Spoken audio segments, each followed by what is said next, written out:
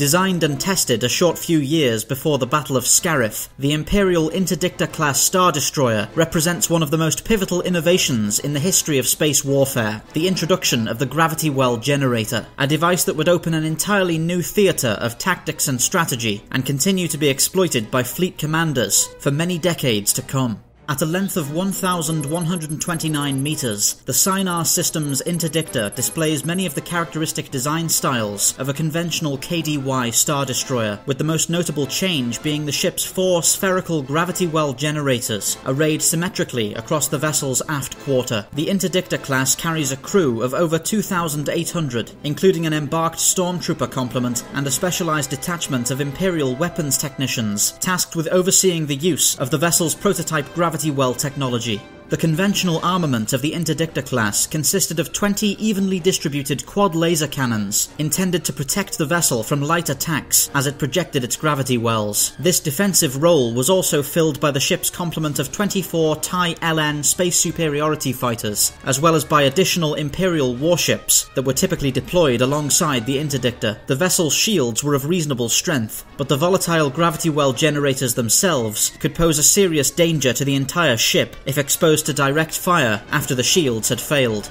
Despite the risks they posed and the complex nature of their operation, the advantages offered by the gravity well generator far exceeded any shortcomings. The device was based on the long-standing fact that a vessel could not enter hyperspace while under the influence of a celestial body's gravitational pull, forcing that vessel to leave the area under sublight power before engaging its hyperdrive. The gravity well generator uses advanced technology to project a powerful artificial gravity well, mimicking that of a planet or other natural body. This artificial well was known as an interdiction field and had the effect of interrupting any vessel passing through it at faster than light speeds, forcing that vessel to immediately and violently decelerate to sublight velocities and trapping the victim ship in local space until it could escape the field or disable the interdictor.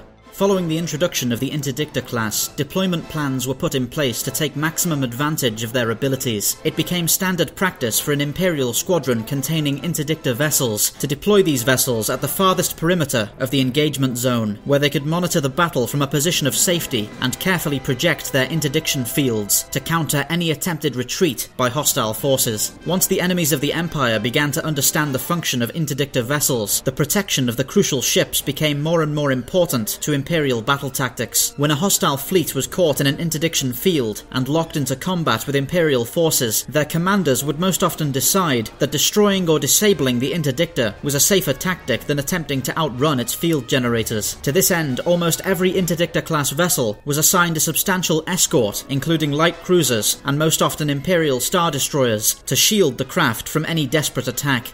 The Interdictor class played a crucial role in many of the most pivotal engagements of the Galactic Civil War, entrapping Alliance forces at the battles of Atollon and Endor, leading to huge losses for the rebellion. By the time of the Battle of Jakku, almost the entirety of the Empire's Interdictor fleet had been lost in battle or scuttled to prevent capture by the New Republic, but some intelligence suggests that the gravity well technology may have been preserved by escaping Imperial personnel and later inherited by the First Order.